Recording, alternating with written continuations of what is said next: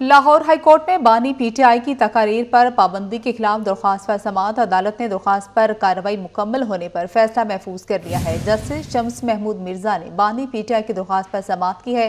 इसी पर बात करते हैं मलिक अशरफ हमारे साथ मौजूद हैं। मलिक अशरफ, बताइएगा, महफूज फैसला कब तक सुनाया जाएगा? जी, बिल्कुल, लाहौर हाईकोर्ट के जस्टिस शम्स महमूद मिर्ज़ा ने बानी पीटीआई की मीडिया कवरेज न होने के खिलाफ और फैसला है। वो कुछ देर बाद जारी किया जाएगा। जैसे शमस महमूद मिर्ज़ा की अदालत में बानी पीटी की दरखास्त पर वकील ने अभी तक बानी पीटीआई को तमाम मीडिया चैनल जो है वो कवरेज नहीं दे रहे। लाहौर हाईकोर्ट में बानी पीटीआई की तकारीर पर पाबंदी के खिलाफ दरख्वास्त पर समात। अदालत ने दरख्वास्त पर कार्रवाई मुकम्मल होने पर फैसला महफूज कर लिया है। जस्टिस शम्स महमूद मिर्ज़ा ने बानी पीटीआई की दरख्वास्त पर समात की है।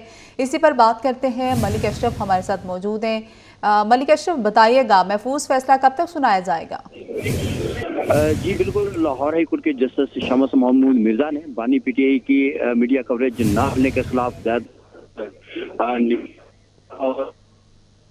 फैसला है, वो कुछ देर बाद जारी किया जाएगा। जस्टिस शमस महमूद मिर्ज़ा की अदालत में बानी पीटीआई की दरखास्त पर के वकील ने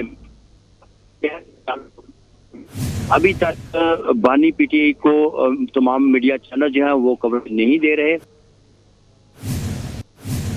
जी ठीक है। बहुत शुक्रिया मलिक अशरफ अपडेट कर रहे थे।